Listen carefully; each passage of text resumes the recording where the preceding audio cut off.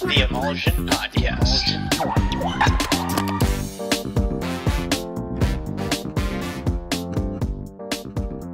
My guest today is Josh Sharkey. He's the founder of Meez, the recipe software for culinary pros. Meez basically organizes the recipes that you have in your restaurant, in your pop up, in your organization. So you can document, you can cost, you can scale, you can train, you can collaborate, and you can prep like never before. It's a really, really cool piece of software.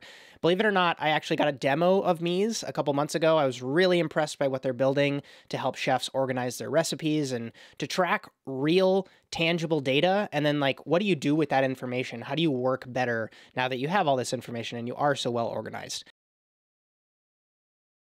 If you enjoyed this interview I highly recommend you queue up my conversation that I had with Aaron O'Leary, who also kind of made this transition from going from professional kitchens to tech, and he works at a company called Product Hunt, and it was really really interesting to hear from him. And I think there's a lot of crossover with these uh, two conversations.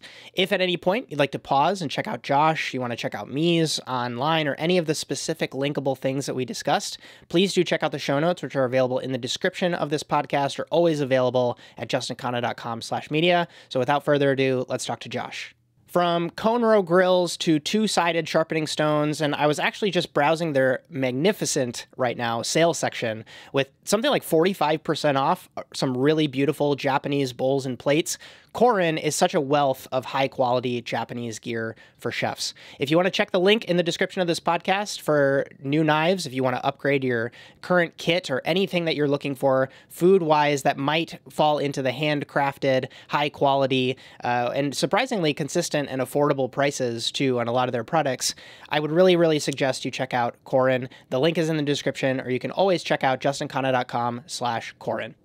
Did you know that you can get diners to discover, to book, and to return to your restaurant all in one place? Yelp for Restaurants is leveling the playing field for all businesses on the platform with some pretty new and powerful tools, and I was really shocked to see what Yelp is doing. There are, believe it or not, several restaurants here in Seattle that I've had the pleasure of eating at that use Yelp for Restaurants, and it's so easy for me as a guest to put myself on a wait list, even if it's super busy, and then I just get a text when my table is ready. And that's super, super valuable as a user experience. And for business owners, this means bigger reach, this means tools for your front of house, and this means a much higher likelihood that guests will actually come back, especially if they're willing to create a profile, because you get a little bit of information about them. So get your business in front of millions of hungry diners with up to eight times better search performance online. There's probably a reason that when you search for a specific type of food or a specific type of restaurant, restaurant that Yelp shows up first as a as a SEO result and really put into practice some of the lessons that folks that have talked about restaurant marketing on this podcast have shared here and use Yelp to get there. For the first 10 folks that sign up using the link in the description, Yelp for Restaurants is paying business owners a $100 Visa gift card for booking a demo so you can see this tool in action and ultimately decide if this is something that could help your business. If you check it out and love it, Emulsion Podcast listeners also get three months free off of their annual subscription, making sure that you can get all the benefits with a pretty awesome discount. I also wanted to add, because I don't think most folks know about these dot points, no employee at Yelp has the ability to override the decisions that the software makes. I didn't know that. Also, there's no connection between advertising on Yelp and how the recommendation software treats a business's ratings and reviews. Again, this is not pay to play. Whatever has been proliferating, that is not the case. So again, check the link in the description and sign up and claim the $100 Visa gift card for business owners that book a demo while supplies last, or you can check out justinkhanna.com slash Yelp. Are you maximizing the revenue opportunities for your business? These days, customers want delivery, they want pickup, and they want online ordering at their fingertips. And DoorDash is powering more than half a million businesses to do just that.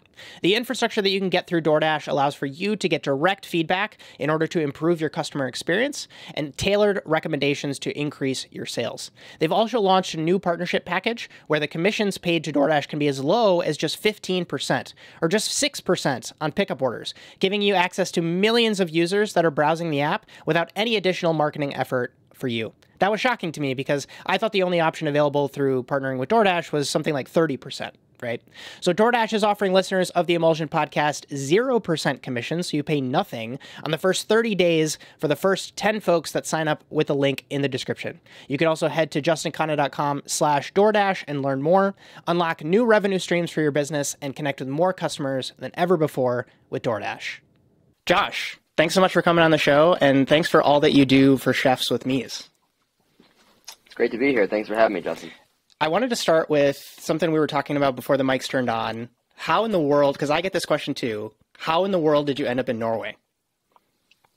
Yeah, well, you know, when I was in college, I entered this contest, um, and I didn't, I didn't know much about the contest, but I ended up uh, uh, getting into the finals of the contest, and they flew me to New York City, and the judges were Marcus Samuelsson and Rick Moonen and Eric Ripert, Rocco DiSpirito, uh, but it happened to be sponsored by the New, New Norwegian Seafood Export Council. Got it. Uh, so the winner of the contest was flown to Norway, and, and, so I was very, very lucky at a very young age to be able to travel through Norway with Eric Ripert and all these other chefs and food writers. Um, and so we we spent, you know, I forget how long it was, but a while sort of just traveling the country, eating all over the place, um, you know, in the Lofoten Islands in the north, and then coming down south and landing in Oslo at the end. Uh, so it was through that through that contest that really was kind of like started my real sort of like fine dining career in, in cooking. What was the nature of the contest? Uh, well, again, it was sponsored by the Norwegian Seafood Export Council, and it was essentially, I think they were trying to promote uh, uh, Norwegian salmon. And uh, so I did a salad. I mean, this was, I mean, if I look back at it now, I probably would be like, oh my God, what the, the fuck was that? um, but it was like this, you know, cured and grilled Norwegian salmon. And so the, the idea was just come up with ways to use um, you know, to use salmon. And so they had it was North America, South America, um, and I think I think just the Americas. Um, but yeah, and they had a couple categories. I think that's awesome. To you know, potentially get a little bit more uh, to pull on that thread of your cooking background. What you, you mentioned that that gave you kind of like your first kind of deep dive into fine dining, but are there any other moments that you can remember where you're like, man, I, I really know how to cook at this point. I call it like the graduation moment question, if, if any kind of like days yeah, of your career yeah. come to mind. Well, it's funny because there was a there was a moment during that time when I was like, man, I really don't know how to cook. you know, like uh, I I was cooking from a very young age. My father passed away when I was 16, and I had to sort of cook dinner for the family. Uh, and I, I always thought I would be I would go to you know I mean, at that age, I was wrestling, so I was gonna I had a scholarship to go to college for wrestling, and I thought that's what I would do. Uh, I never thought I'd be like a uh, you know just a, a, chef. I ended up going to culinary school at Johnson and Wales because they had a really good wrestling team. I got a scholarship, um, but it really wasn't until um, until working at there's this restaurant called Oro in Oslo. And chef had just opened it called, uh, named Terje Ness. He had just won the Bocuse d'Or in 1999, and um, and I just remember vividly being in the kitchen with these incredible cooks um, at every sort of you know station, and I was with the entremetier, and he was uh, he gave me like this like you know bushel of shallots like all on the vine and dirty, um, he was like these, and um, and as he was like running circles around me like curing foie gras and all kinds of I mean he did everything, um, and I'm like cleaning these shallots and cutting them, and he just keeps correcting me and correcting me and correcting me, and I'm like using my Japanese knife and trying to go fast, and he like you know, and I and I very quickly realized like, oh, I don't know anything about cooking, but this is awesome. Um, you know, everything coming in every day. They had very few walk-ins, and just like everything was just like so pristine. And I would, and to that point, you know, I cooked in restaurants, but I'd never seen it at that level. And I was like, this is what I want to do for the rest of my life. This is unbelievable. Um, so that was really a moment when I was like, oh, I don't know what I'm doing. I don't think it was really. I I, I cooked for many, many, many years. I let when I came back to New York, I I worked um, at Oceana and at Bouley and, you know, for a little bit at Jean-Georges. I worked for Floyd Cardoz at Tabla. Really, you know, through all of those times, I, um, I think, you know, I would get to a point at each restaurant when like, okay, I'm, I'm getting good now. Um, you know, and it was, it always, it would always start the opposite. Uh, but I think it wasn't really until I started working with Gray Kunz that I really realized like, oh, okay, I, like, I know how to, I know how to cook. Um, you know, like I can run a kitchen what was your during all that time like was the ambition to uh, to open a restaurant of your own, to just become someone chef de cuisine and kind of be their number two? Like, what was going through your mind during that time? Because when I was going going off into the world, the goal for me was always like three Michelin star in Chicago.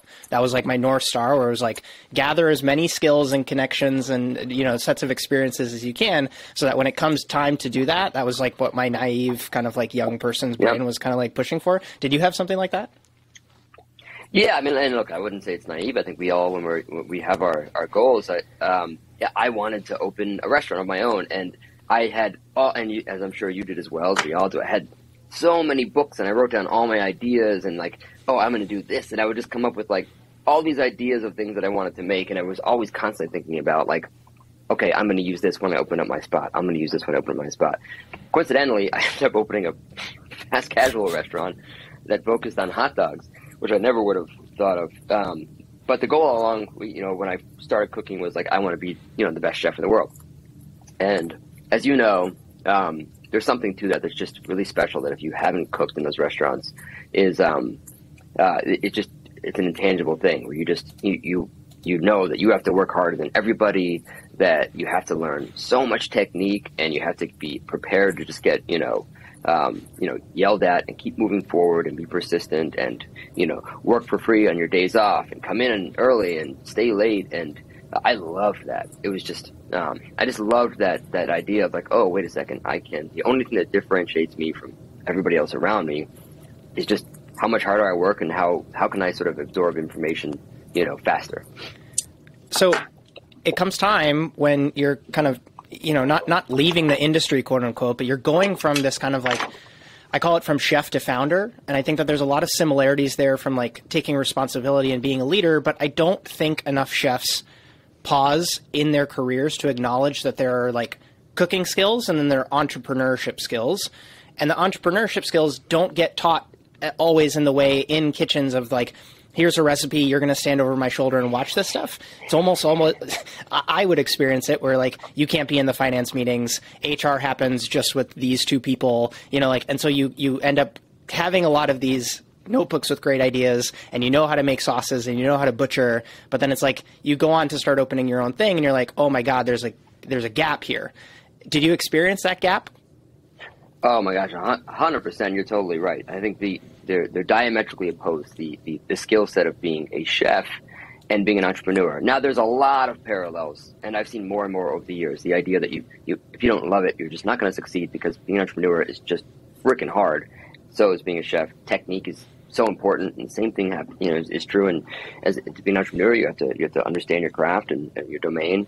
Um, but but there's just there's such a different skill set. I think the biggest skill set I think, or not even skill set, but the mindset shift from being a chef to being uh, you know a restaurant owner is your metric of success is not how well you cook a piece of meat, but how well can you deploy a team to do that consistently every day and make it profitable and have people coming in the door that love it, right? Which is different. Like I can cook a you know a, a chicken like you know with my eyes closed and make it perfect every time, um, but who cares if my cook can't do it, right? Uh, and if they're not happy doing it. Totally. So you acknowledge that gap. Were you the type of person that just kind of like uh, uh, tried to find a school that had like some online courses on entrepreneurship? Did you dive into books? Did you have a mentor that you could call? Like, how did you how did you start to bridge that gap? What resources were helpful for you? Yep. So um, it was mostly books, and I would say it's a little bit different when I opened restaurants as opposed to when I started the you know my my new company, which is a technology company. Because opening restaurants, it was tough because you know when I opened up Bark, I had a, you know a, a few restaurants called Bark in New York, and I went from being in the fine dining world to opening restaurants in the in the sort of fast casual, almost like QSR space.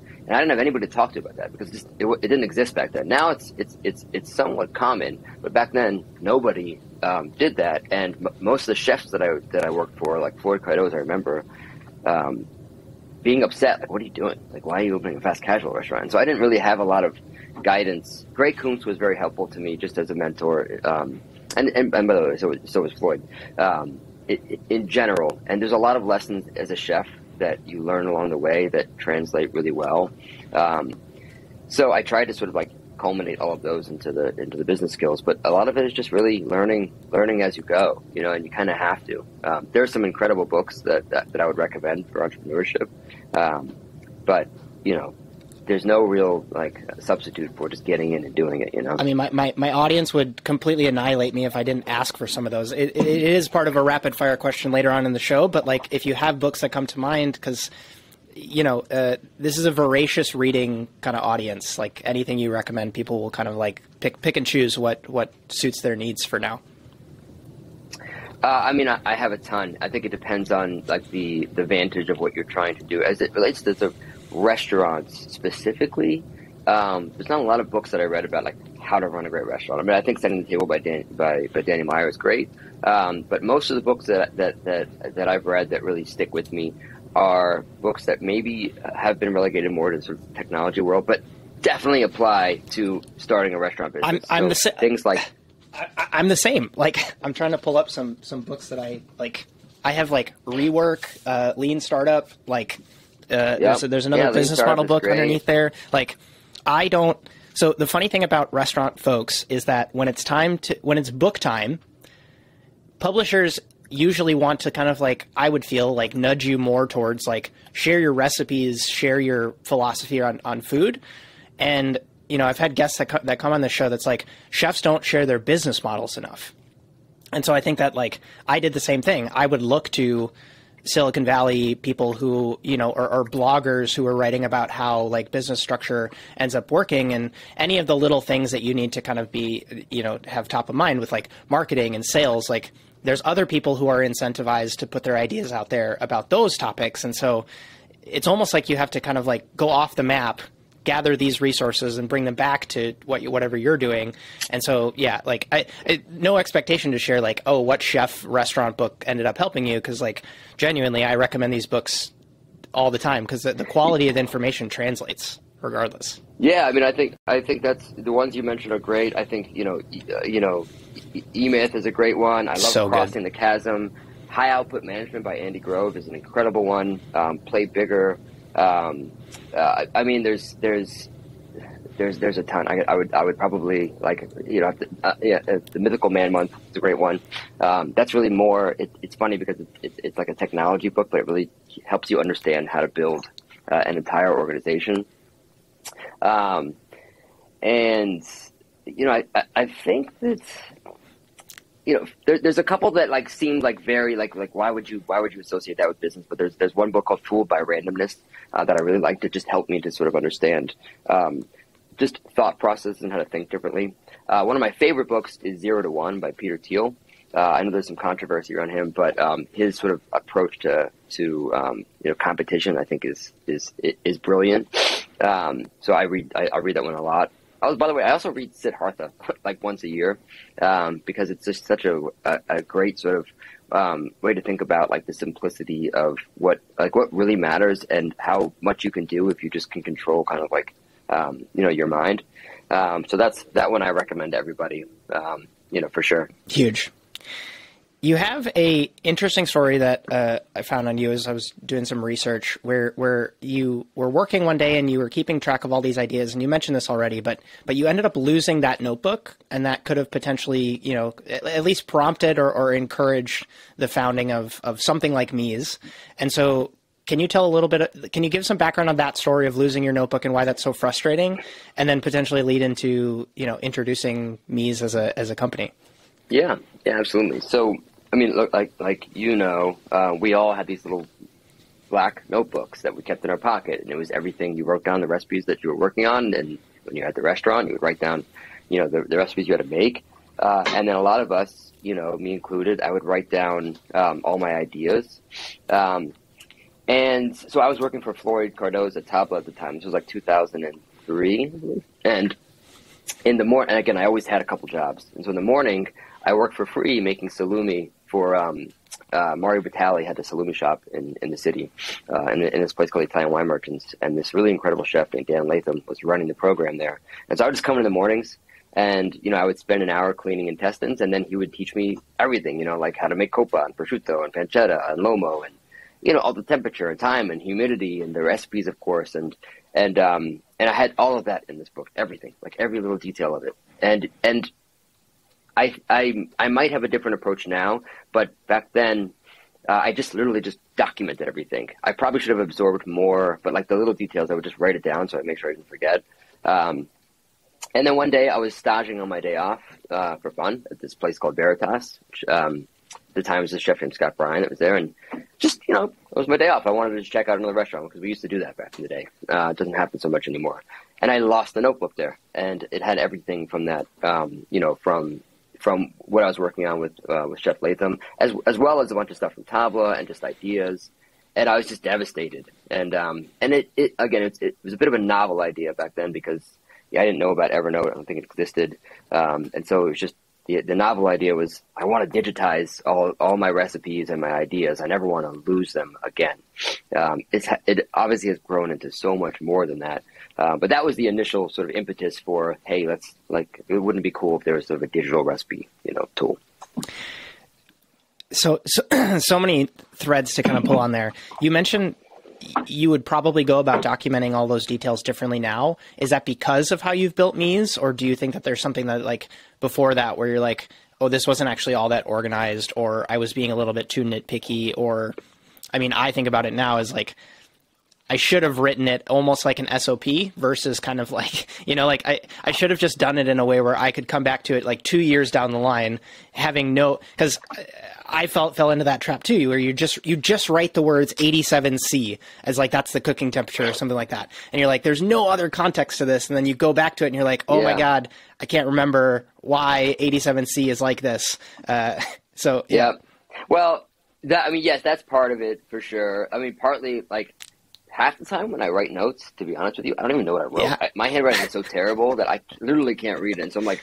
I have no idea what that is. Whether it was my idea or something I'm writing down, um, but partly I would say, you know, that I, I, I may have erred more on the side of just like write everything down that you remembered right away. And I, not that, that that's, not that that's bad, um, but you probably absorb less because you're focusing on like remember, you know, remembering that thing and documenting as opposed to like looking and, and, and saying, you know, like, oh, okay, got it. This is the premise of it. Because especially with, you know, in this case, it was charcuterie. There are some sort of common sort of methodologies and approaches, you know, to percentages of of nitrates and how you think about a brine versus a dry and things like that. That that you know, if you understand those, you don't necessarily need the full recipe. Um, so uh, I think that that was just another thing that that, that sort of hit me. So what was the kind of time gap between that moment and like getting a what what you would consider to be like the V one of Meez kind of like out there? Yep. So I mean, uh, to be honest, it was it was it was the culmination of a number of things that happened over the years that sort of um, kept hitting a little extra notch on the belt of like, oh, okay, okay, and then finally, you know, once I um, owned my own restaurants, I realized like, oh gosh, we need this thing. But you know, over the years, like, you know, like in every restaurant, you know this as well. Like our recipes are stored in all kinds of crazy ways, and it's very unorganized. They're typically also very not very explicit, and so so often, you know, you have the wrong version of a sauce, and it's like, what are you doing? That's not that's not the gastrique we use now. I'm like, oh, okay, well, it was one that was in the recipe book. So, you know, that would happen. And then I remember when I left Tabla and went to Bouley, there were no recipes and like, uh, they would write them on parchment paper. And I remember Evan Rich like documenting the pomme puree, um, you know, with the, the, the, the ratios on a parchment paper. I'm like, this is crazy. Like, this is things that we are famous for, and there's not even a recipe for it. Um, and there's no excuse for that. You know, it's like it's not like oh, you just need to learn how to do it. Like no, like document the process, document how it works. So that would happen, and then you know, I, I remember Cafe Gray, uh, Chef Kunz and I used to do these events, and we were flying to Montreal for the festival in Lumiere, and like you know, you would you would share a kitchen with another with another restaurant, and they would help you. Um, you know, produce, and so we were doing this whole truffle tasting menu, and I made all these videos and, and mailed them a fucking DVD Whoa. of how to do this thing. Um, and so we would, we, like, I, I like recorded like, like my, you know, myself making, you know, the, the truffle bouillon and how to sort of like, you know, preserve the truffles. And this is how I want to clean the veal breast and all these things. And I'm like, this is crazy, uh, that the, I'm sending this on a, on a, on a, you know, uh, so anyway, so that, that, that happened. And then, and then you know once I opened up the my own restaurants, and I had to start sort of managing a team, and and it was very high volume. Um, you know, I realized like there's just not there's no tool built for us, um, and uh, you know the only thing that we had, and back then there wasn't even that many inventory systems, but now like there's a lot of them. Like the only we have is inventory sy- software, and it's almost like offensive. It's like that's not recipe software. That's inventory software. It's different, you know. And and um, and so I just that that was when I like you know about six years into Bark, I was like, all right, I'm done. I I think I'll have a bigger impact if I if I can build this thing that I'm that I'm dreaming up. And so I sort of divested from the from the restaurant business, um, sort of, because I actually then went ran a restaurant group, but. Um, but we can get into that if you want, uh, and realize like you know we just I just need to build this tool because I think that everybody needs it. What was your?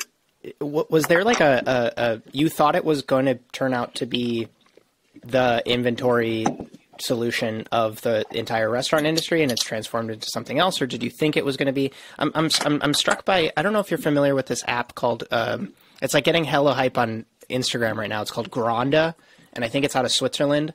And it's like very like a lot of videos and recipes but it's like come here to get inspired where i think when i think of Meez it's like use this to be more organized use this to be more collaborative use this to keep track of stuff better and you know the digitization yeah. piece like did you think Meez was going to be one thing and it transformed to be something else or like was this always the goal? No this was really I, like honestly since day one it's always been the goal. Like i knew i didn't want to build an inventory like erp system and every recipe app out there is either like go find recipes here which as a chef you know like okay fine but no that's not what we're doing. And um and you know it's not like we're going to use an inventory system to like to, to you know at per se you are not like you're not you're not going to your inventory system to look at like how to make oysters and pearls right? That's exactly.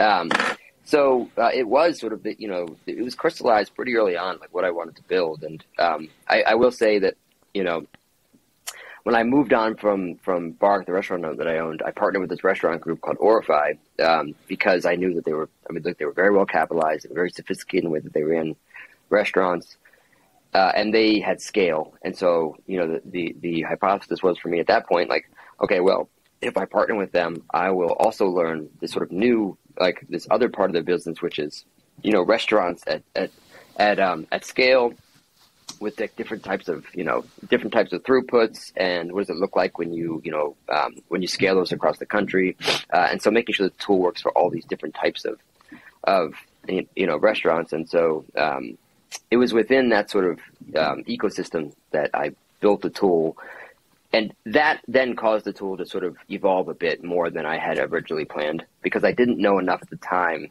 before then about how uh, inventory systems and ERP systems work, and yeah, serendipitously, I I I became an expert because I tested every single inventory system you could think of and onboarded new ones and was you know sold on all these other ones. And so I, I, I developed a deep understanding for how they work and deficiencies as it relates to recipes and recipe costing and, and all the other things that we do.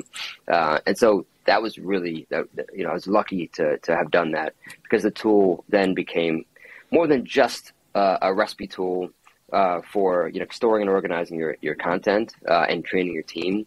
Um, but in my opinion, the easiest and best way that, to get recipe costs and all the other things that you need to do uh, because of all the deficiencies that I saw in, in that tool.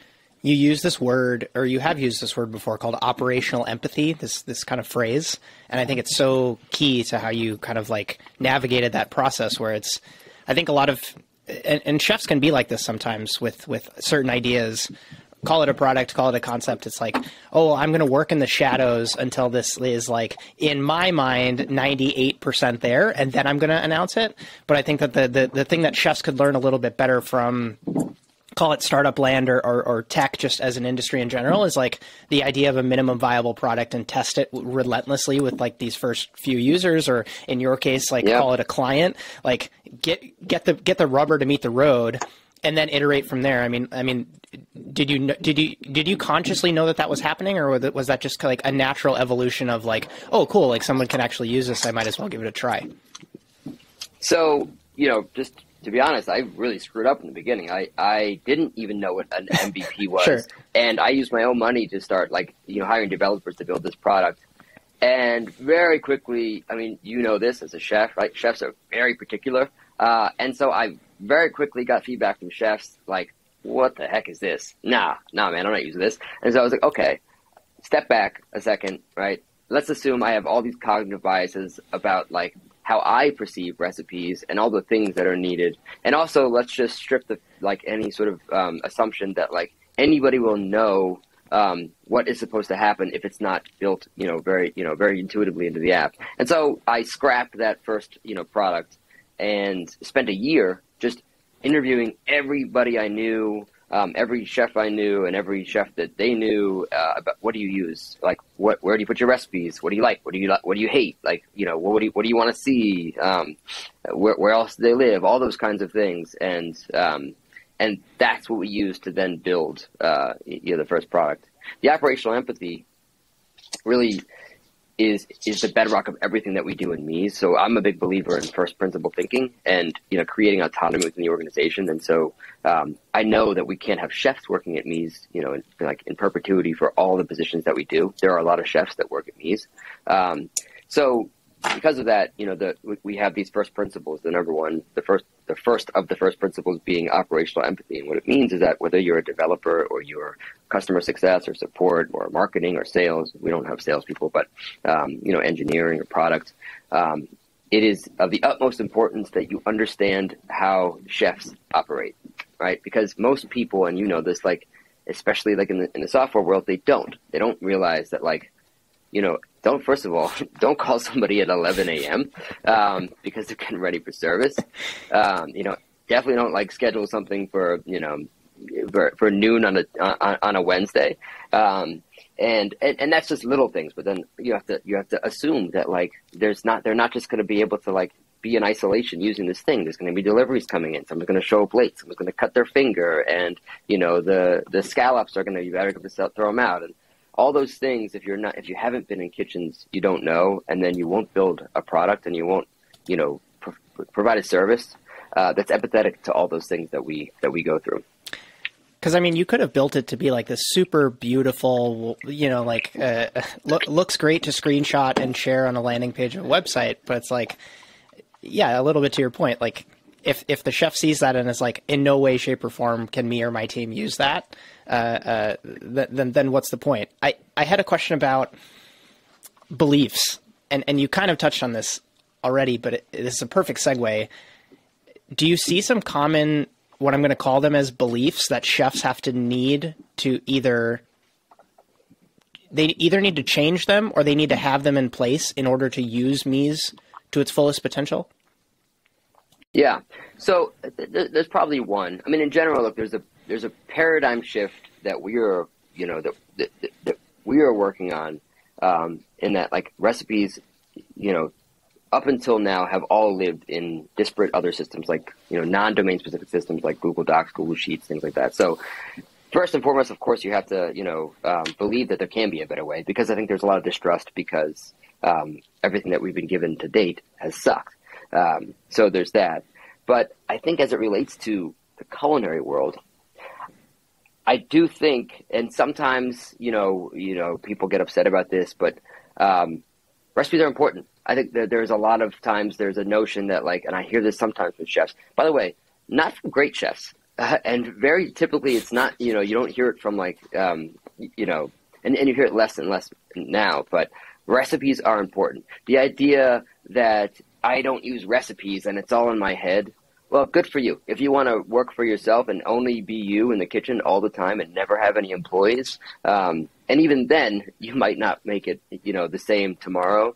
Um, then recipes do matter, right? And if you have a vision, if you're a chef, no matter you know, you have a, a vision to have a three star Michelin restaurant, right? You have this vision, and your your vision cannot be implicit. It has to be explicit, right? Because your gastrique is different from the next person's and or your adaptation of it, right? And so you have to explain that. Like, why do you reduce this vinegar two thirds the way and not half the way, or crash it to sec? Uh, and what are you going to do with it next? And is it supposed to be chilled first? Is it going through a tammy? Is it going, you know, all those things that they just leave out, and you put a recipe that just has ingredients and like, you know, one or two instructions. Um, you have to believe that that's not enough, right? That that like your team deserves more. They need more, and they're going to be more successful if you if, if you if you do that.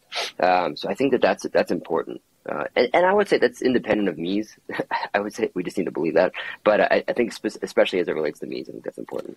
It's so common. I mean, and and I think it, it might potentially be uh, to that, that that question that every chef hates getting asked, which is like, "What's your specialty?" or "What's your like, what's your signature dish?" Like nobody likes getting asked that in the, in the early days. But as you start to, and, and I like this hit me like square in the face when I like left from being basically a chef de cuisine at a restaurant to like going to open my own thing and start my own pop ups. It was such a safety blanket to be able to say like, oh well, I don't have a signature dish when I was like, you know, in in the prior days to me taking like full responsibility for the food and, and all those sorts of things. And again, it like I hit that wall where I was like, oh my god, yeah. like you need to shed that and you need to like start to lean into the fact that like recipes need to be a thing. You need to come up with your way for doing things. And then not only that, but like the important part now is to kind of like teach this and be able to like transfer that delegation is the actual the actual word that that that that is being used there. But yeah, like it and that's why I call it a belief uh, uh, change or, or a, a, an adjustment in kind of like how you how you approach your work because if you don't, you're going to be that person who just consistently gets caught up and can never scale. Yeah, absolutely. And I think as it relates to um, a business, you know, customer retention is all about, and I and I I sort of always relate customer retention to trust, and I'm a big believer that trust equals consistency plus time, right? And the key there is consistency, right? And you can't have a consistent product if you haven't documented how that product is supposed to be made. And I think that gets forgotten a lot. You have to create consistency, or, or people are going to be scared to come back. And then there's just look, there's just matter of fact things with recipes that uh, that you need and that are just going to be far more healthy. If I'm going to make a nuoc cham, right, um, like uh, you know, a Vietnamese you know fish sauce, I, or table sauce, then yeah, there's a ratio of lime juice and fish sauce and garlic and chilies, and yeah, I can wing it, but I perfected like a ratio that I really like and I'm going to use that again, you know. And the same thing with a lot of these things that we do, a lot of, especially of course with like sauces and things like that. Um, you know, we we spend a lot of time dialing in, you know, the amount of each of these things and how much chili, and and of course you can then sort of like iterate from there. Uh, but you have to have that base, you know. Let's say that someone is has either found this show based on uh, uh, searching your name and, and they're a new user of Meez and they're just like, hey, I'm kind of interested in what the founder has to say about this product, or someone is hearing of this product for the first time and just potentially like is scrolling the landing page right now and uh, you know potentially thinking about giving it a try. What are some examples that you've seen of like great power user usages of Meez to just kind of give paint the picture of kind of like what this looks like being used properly and intentionally and at, at, at like the highest level. Yeah, absolutely. Well, I mean, at the end of the day, um, Meez should be the source of truth of all your culinary IP, right? Like all of your recipes and all of your content should be, should live in there, and then it should be disseminated to your team, and that's how the technology is built, right? So that you can disseminate to your team, and you know someone can have view access, and someone can have edit access to different things, and whenever you update something, everybody gets notified in real time. Hey, this sauce was updated. It's got more sugar in it now. Uh, so you always have the right, you know, the the right, um, you know, recipe in front of everybody, every cook's hands, and um, so, the, so the source of truth, you know, of, of the content is one of the most important things, and I think it, it, it feels innocuous as a as a product value prop, but it, but it's it's really really important because you know as you as you know in kitchens, you know it gets really scary when two people have a different recipe, um, and then you know we just sort of double down on that with everything else, right? Like like okay, now I'm using this recipe. And with every recipe app that's out there, um, you know, if you want to make you know uh, a scaled up version of that recipe, well, maybe you can make a two x or a three x, and and you're limited in that capacity. But then also, like if you scale it up or scale it down, you know, maybe it says like 0.045 cups of something or 317 teaspoons, and nobody can measure that. So we built logic around like converting units the way we actually measure them in the you know um, in the kitchen. And then we also know that you know life isn't perfect, and when you make a tomatillo salsa, uh, and your recipe calls for 4,500 grams of tomatillos, and you get your case of tomatillos in, and after you clean them, turns out you only have you know whatever four thousand nine hundred and eleven grams or something. That's that's more than that, Yeah, but you know you can you can you can scale your recipe based on any ingredient. So if you're running low on something, you can you can scale the entire recipe in one click. Um, no work on your end. It's all built in for you, and that's because um, of not just the, the scaling technology, but um, you know the hardest part about getting recipes into any system is that there's so much information that you need to put in, in, in addition to your recipe. You have to put in how much loss when you peel an onion, or how much does a cup of shredded, you know, uh, radishes weigh, or you know how much does dark rye flour weigh versus a you know uh, you know uh, all-purpose flour, and what is the conversion between those things, and and um, you know what are the allergens associated with tahini versus this? All that is like things that you have to put in that have nothing to do with you cooking. Uh, and so we just got rid of all that. We just said, we're going to build that in for you. And so we hired RDNs and I had all my chefs on staff at restaurants and we spent years just like building out that database. So when you create a recipe, all that's just, you know, built in for you. So you just focus on like the, you know, like putting in a good recipe and we'll make sure that it's costed right. You can convert it, you can scale it, and you can, you know, see nutrition and allergens and all that jazz. What about in the uh, and forgive me if if this is just something I'm unaware of, but like in the development process of a new dish, like how does that work with Meez? If I have an idea to make, you know, kind of like a a, a braised pork belly dish with a tomatillo salsa, like how does that work? Yep. Yes, there's a lot of stuff we're doing on that. Like my so, um, uh, I always was fascinated by Airbnb's um, like approach to um, to experience, and they had like this 11 star experience. And, Amazing exercise. Can you actually explain that to people? Because I've I've done that. I, so when I was doing pop ups, I did that with my team as like describe an 11 star experience. So valuable. So can you can you explain that for people who haven't done that before? Yeah, absolutely. And and, and, and Brian Chesky obviously would do a better job of, of explaining this. But the idea being like, okay, you know, a five star experience is that, you know, my my Airbnb is ready for me and the key is there and the apartment's clean, right? And then, you know, an eight star experience, I get there, the apartment's clean, and they know that I like uh, this show on Netflix, and it's like playing when I get there, and they know that I love you know dark chocolate almonds, and those are in the in the fridge for me. And then you know the eleven star experience is that you know I get flown to the to the city, and there's there's a parade waiting for me, and you know they're going to take me to the to the to the Airbnb, and my favorite chef is bringing me the food, and you know they sort of think about like okay, what would this look like you know at at at, at its best? Uh, what would be at like maybe the impossible to like the, to the basics to the table stakes. And you know I, I do the same thing with Meez right? We, we're, we're constantly incrementally building to what this you know the the, the 11 star experience will be. Right now what it means is you can document your ideas in the docs. We built this thing called docs and you can document ideas. They're all searchable and um, and shareable. And then you can convert those into a recipe.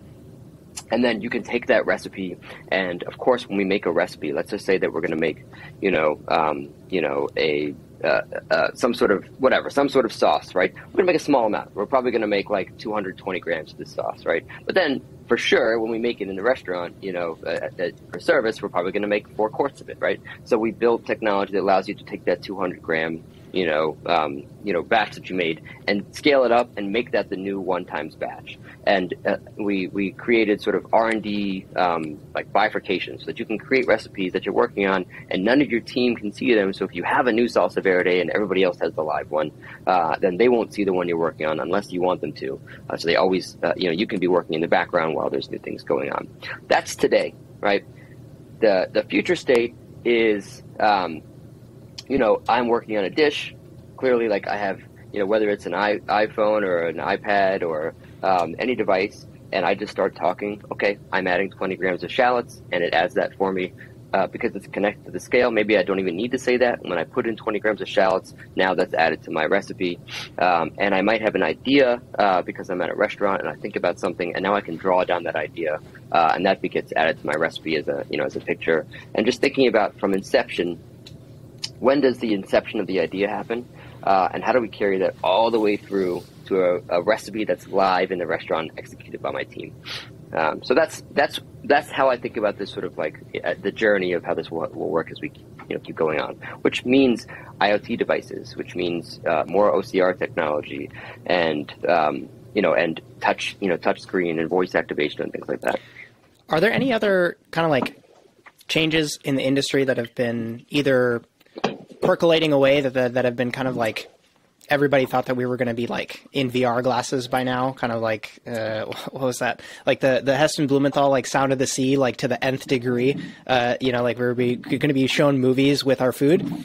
Uh, to like you know robotic replacements like like wh- where does your head go with with you know are there things you're keeping an eye out on or, or things that you've seen that's like oh that's that's not that's not ever going to happen because xyz yeah, I, I tend to be more of like a, a pragmatist or like a realist for like the, the short term. I mean, the culinary industry, you know, for better for worse, is is pretty. Um, um, our, our adoption curve is pretty is, is pretty low right now, right? We have a ways to go before um, you know that technology is really deployed into the in, into you know into a, a ubiquitous part of, of, of the culinary industry. Uh, so things like robots, for example, I think that there is a future for them but you have to again this goes back to operational empathy.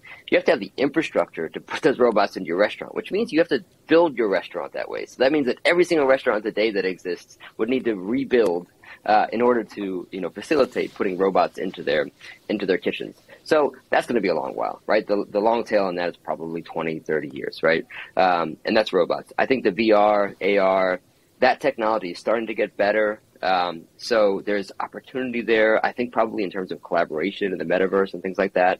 I get dizzy in the metaverse right now, so I think there's probably still a ways to go. The, the the VR that has been deployed to date has been very kitschy. Like there's some restaurants that do like you can look at the table and there's a thing, and that's it's a, it's novelty. Um, but I think that there's some collaboration opportunities long term.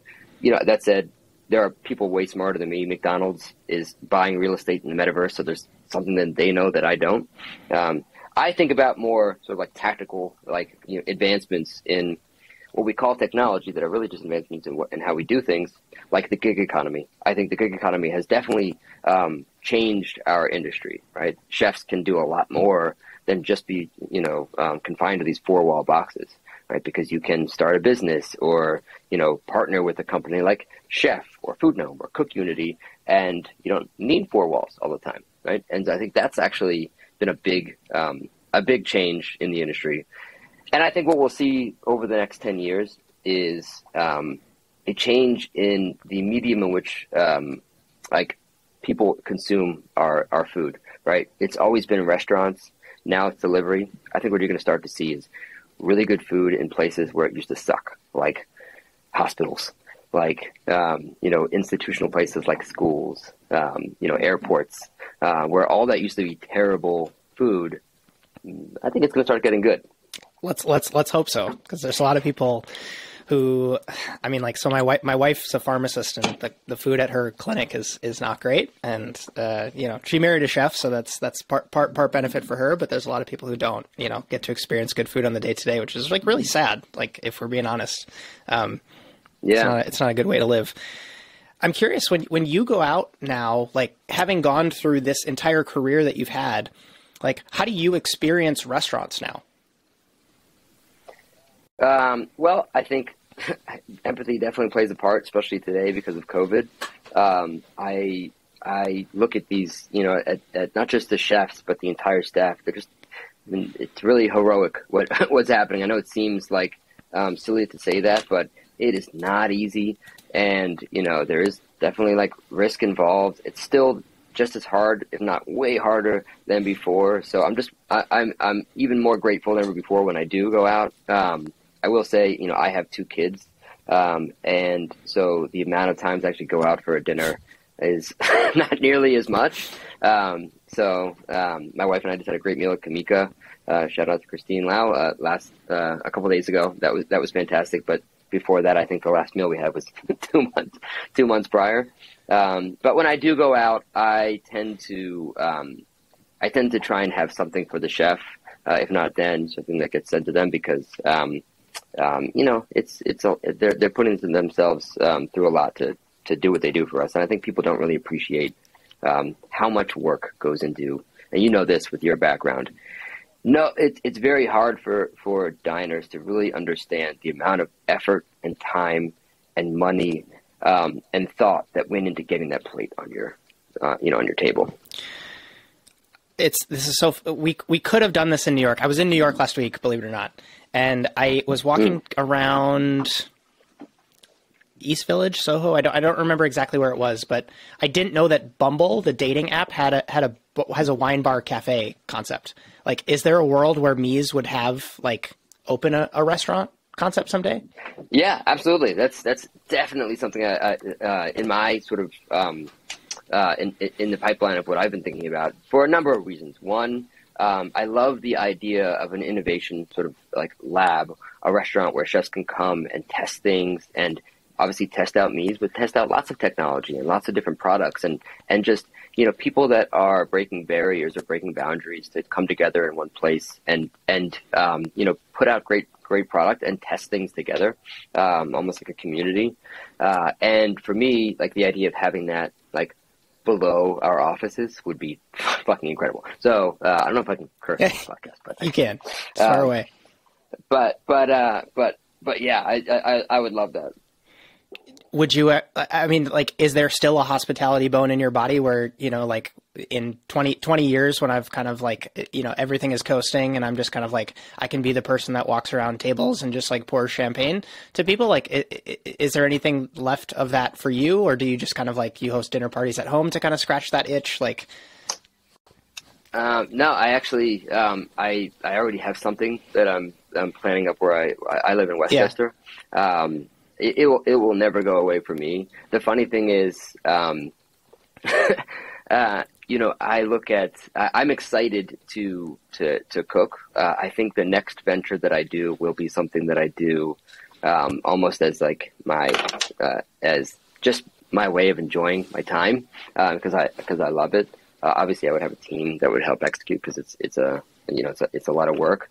Um, but um, yeah, it's it, it's certainly something that, that, that I've been dabbling with, and I think you know, uh, not today because I just I'm buried with uh, with this, and I will be for a while. Uh, but I'll certainly open up something again. I love that. I have a a you can you can frame this in the context of Meez. You can frame this in the context of any of the of the uh, restaurant concepts or, or openings where you were in charge of hiring specifically.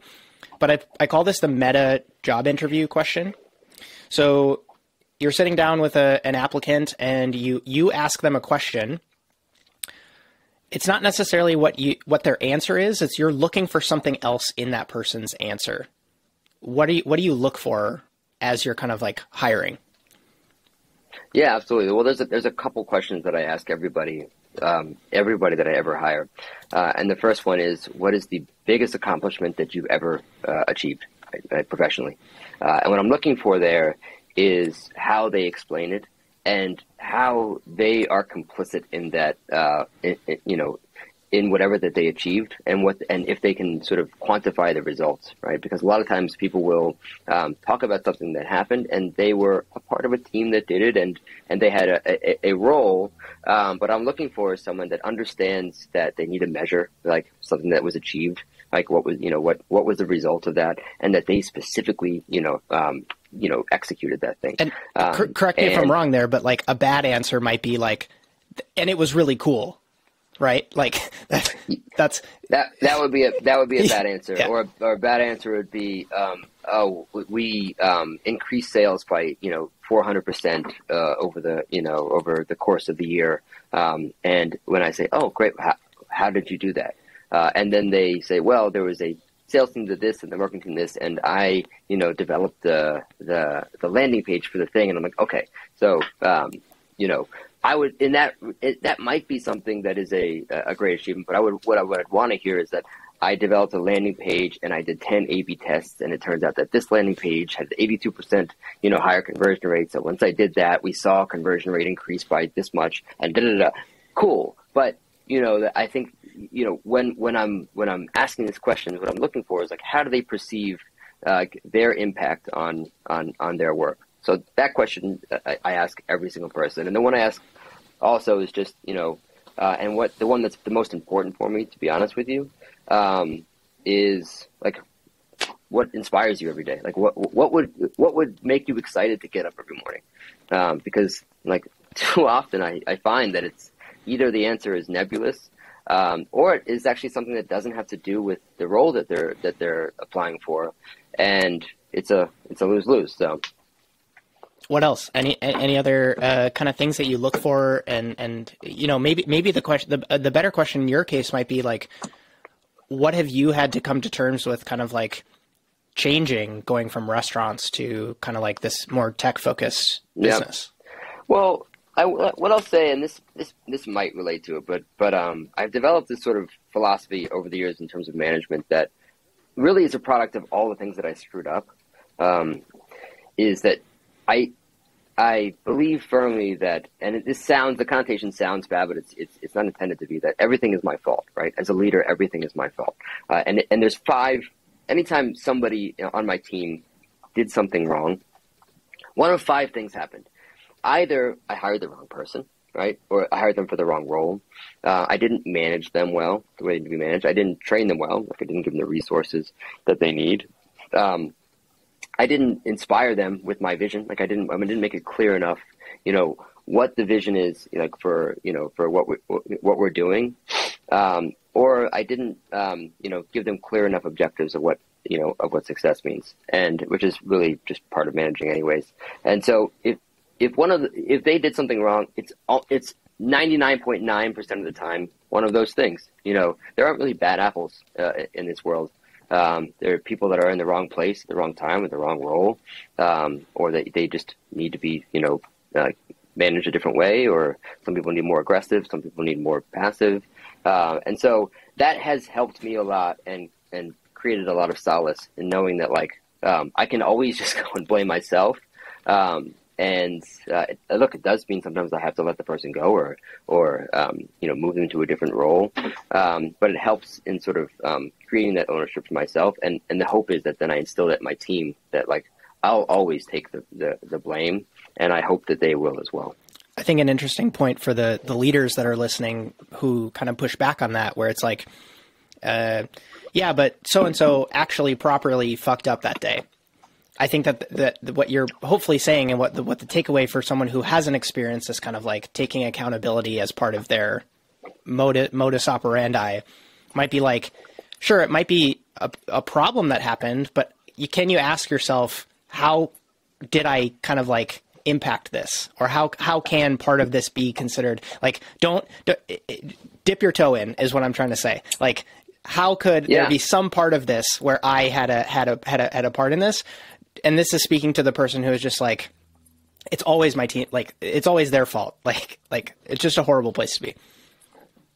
Yeah, and there's and and there's always going to be a um, you you'll always find something. I'm a big uh, believer in, in stoicism, um, and there's some really great you know books about that. Meditations is, is a great one, um, and um, one sort of I, it's funny because I have on my computer a lot of these stoic sort of you know quotes that I just like have revolving every day, and and one of it just is just literally asking yourself, how am I complicit in in in the environment that I've created?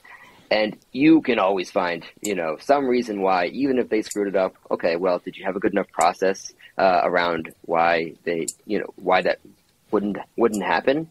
Um, did you train them well enough? Did you ask them if today maybe like their kid is sick and they're having a terrible day and they came in late because they had to drop their kid? Like, what is the thing that you could have um, okay, that that's happened to me so many times. Like, oh my God, it's been a year, and I didn't even realize that uh, she goes to church every morning at 9 a.m. and I had my our touch base schedule for then, and she never said anything, and so she missed that every day. And now I ask everybody, you know, hey, what's your what's your personal life like? What what are things that I need to know about your you know uh, about your life that would impact your you know your job, uh, so that we can account for them. Um, so there's always there's always something. Josh, we're going to head into rapid fire questions to kind of wrap up. But is there anything that we didn't get a chance to, to cover? Because I want to make sure that we get you uh, out of here on time. No, no, I think we, yeah, I think we have a good, cool, cool. good scope here. Cool, cool. So I, I frame this as, you know, it's the first day of, of your weekend, whether that's, you know, s- Saturday or, or when you were working in a restaurant. So it's probably Monday or Sunday. And you go into the kitchen to kind of make some eggs for yourself. How do you make those eggs? Um, so I I love scrambled eggs, so I always do scrambled eggs. And and I'll, I'll be honest, American cheese. and you just put the put the whole slice on and scramble it in? Uh, no, I break it up in a couple. Got it, got it, got it. And then I like I'll pull it off the heat and like you know, um, my wife's very particular about like how how the American cheese is melted and making sure it's not too melted. So you know, right at the end. Does your wife cook? She is a very good cook. She's not a uh, you know a chef by trade. She actually is a, an event designer um, and like a, a floral designer. But she's a very good cook. Very cool. What's one thing you've changed your mind on in recent memory? Um, you know, I think that I, for the longest time, thought that business was um, about great, uh, great product, um, and that's what was the most important thing as a chef. Is I was like, just got to be good food, uh, and it is very important. But I've, I, I think I've come to terms with um, great business, and the best businesses are uh, about great people. Like, do you have like incredible people um, that are be- that are be- that are like behind you and have the same vision as you? Uh, and that is only something that has recently sort of really truly sort of crystallized for me. I know that you you have this background as a chef, and you're obviously like busy running day to day with Meez now. But is there something that you know, if you had to get up and give a TED talk on something that someone who you know kind of only knows you as an acquaintance would be like, "Wow, I didn't know Josh knew so much about that thing." Is there something that comes to mind? Um, well, it kind of does relate to what I was telling you about uh, about management. Got Like, it. I'm a uh, I, I really do believe um, you know in uh, I mean again I I I- I'm a, a I would call myself a, a bit of a stoic and I and I my my entire life is is sort of revolves around thinking about how I'm complicit in all these things and it has just um, really changed my level of happiness um, and my ability to sort of you know accept situations. I would probably give a talk on on that on on um, you know uh, on maybe not specifically on stoicism, but like how you can um, you know like find complicit complicitness in what you do and how that can actually you know, create happiness for yourself. And would you frame that in the in the um, so I this is so funny. You would probably frame it in the context of like how managers and, and probably founders can can embrace it. But I teach a I teach a course for chefs, and there's a whole section of a module where I talk about stoicism because I think that it's so important as like a line cook to be able to like there's finger pointing that happens all the time when you're on the line and you know your sous chef forgot to order your grapefruit or whatever and it's like yeah kind of but like when you came in did you triple check that like your produce order got put in or something like that like there, there's so much to like how you respond and then like how it relates to how you kind of um, move move throughout the the kitchen and, and through your career um, so you know big plus one to stoicism there Great, I didn't I didn't know yeah, that. yeah, yeah. That's incredible. Yeah. I, I, you should actually. What we should actually do is when we do the next cohort, I, I, I should get you to come and do like a thirty-minute kind of like talk to the students about that because I think that would be really impactful. Sure, Cool, that'd be cool, cool. I'm glad to. Obviously, you've been cooking for a long time, and I only ask this to kind of people who are kind of like have a have a culinary background. Is there a technique that you're still intimidated by in the kitchen? um, let's see. Is there a technique that I'm intimidated by? Or a dish or a process? Maybe. Um. Well, I would say um, that this is. I think it's probably too niche, honestly. Um, like I haven't really perfected the, the technique of Peking duck well enough. Got it. Um, and but that might be a little too No, niche. it's not. you know. It's not. There's- It's not I'm at all. I mean, there's, there's whole restaurant concepts built around that dish, so it's not niche. It's not, and and, and Yeah. it's it's proliferated outside of it. You know, there's a ton of restaurants in California who is like their duck presentation is Peking duck. You know, in some way, shape, or form. yeah, yeah, yeah. You get a call right after this interview that you've just won an all expenses paid trip to eat at your dream restaurant, and when you get there, someone you've always wanted to have dinner with is waiting to eat with you. What is that restaurant, and who is that person? Wow, that's. Uh, I mean, there's so many people. I will. Um, okay, I'm gonna. I'm going to say a restaurant that I wish was still around called Uncle Boone's, um, because I just fucking miss it so much, and I think I would love to have dinner with Mike Maples Jr. Got it. Um, he's uh, he's the founder of this of this firm called Floodgate, and I just think he's such a brilliant like thinker and the way he thinks about business and um, and I love his podcast, Starting Greatness, and uh, it would be fun to sit down with him. What would you ask him? Um, well, I would uh, so many things, but uh, you know, I would I would ask him what like you know what are some of the common things that um, the common misconceptions he had in, in investments that actually still went right. um, you know, because he invested in um, Twitch before it was Twitch, and he invested in Twitter before it was anything, and and um, he, he he's you know caught some early um, you know some early investments, and he was always you know he has a premise about um, you know, anytime you you um, it, this is this relates more to sort of raising capital, but whenever you hear from an investor, mm, the market isn't big enough for that. Um, well, um, if you if you said that about Uber, um, you would be in you would lose a lot of money uh, because there was no market for it, and, and the best startups and the best businesses create their own market, uh, and that can be said for a lot of restaurants as well, right? Like Noma, there's not a market for uh, a Noma, but um, you know they created one. So I think I love finding correlation between business and culinary uh, because culinary is sort of like what my heart has always been. And there's so many, and um, so whenever I can find those correlations, it helps me to actually absorb like the knowledge better. Um, so I would, I would, I would be asking questions like that. I mean, you mentioned first principle thinking already, and so for for folks who you know kind of uh, aren't familiar with that way of kind of uh, uh, approaching problems or kind of uh, making decisions, I think uh, you know what Josh is saying here about kind of like asking these questions from someone who seems to be operating from first principles and why that's so so valuable. Yeah, I guess Ray Dalio would be a good guy to talk to about that too. that too. What a master. Uh, last question for you, Josh. What do you think chefs can be doing better to help the next generation? Um, well, uh, I think I'm gonna. This is a plug. Use Meez. Document your process, uh, your process and your recipes, uh, so that um, so that you can that you can hand them off. But um, I'd be upset if you, you know, didn't I, say I, that. uh, honestly. yeah, but but I think we also have a responsibility as chefs to um, look. It's it's tough. I'm a you know I'm I'm, I'm 40 years old, so I, I started cooking in a different era um, when it was actually you had to like fight to get a trail at a restaurant and to get a job was just like even harder, uh, especially at the at, at, the best ones, and it, and it's very different now. Um, and I think that the the path to becoming a chef is um, has changed a bit. And I think some for the better and some for the some for the worse. And I think that I think we do have a responsibility to try and find ways to try and find common ground to help instill some of that into the ne- new generation of cooks. Uh, that this is not going to be a sprint, um, and it might seem like it is like it is now because of Instagram and all these things, but I, I don't think that there's an evergreen, you know, um, solve it because there's only so many like Instagram stars and a restaurant like you know this like it's either good or it's not right. Um, and yes, you can start earlier, but I think it's you know I, I think we can help the next generation by like instilling the importance of technique and of repetition and of doing the same thing enough times that you actually become a master, and that's how you can then iterate. Um, and I, I, don't mean to sound cynical, but I think some of that may have been lost, um, and hopefully we can we can help the next generation kind of like make sure that that stays in place. I read this great um, piece about the the middle path where it's like you ha- you're, you're walking on one side and then the other side of the path seems super super attractive and sometimes you'll swing all the way over but you kind of have to experience that other side in order to walk the middle path.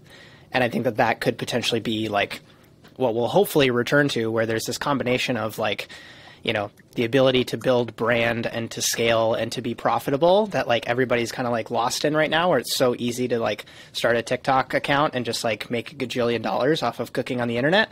And then there's this like other side of like true tried and true like all the things you just brought up. It's like could we land in the middle someday? Yeah. Who knows? Yeah. Um, yep anything else, Josh? I, I, really appreciate you coming on the show, and, and you know we'll leave links for everybody to check out Meez uh, down below. But is is it? Do you have any questions for me or anything anything else that you want to leave the audience with?